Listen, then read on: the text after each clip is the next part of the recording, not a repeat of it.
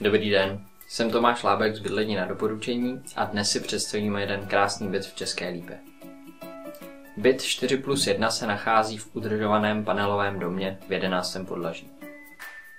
Velkou výhodou tohoto bytu jsou dvě koupelny, tedy lze využít i jako dvougenerační.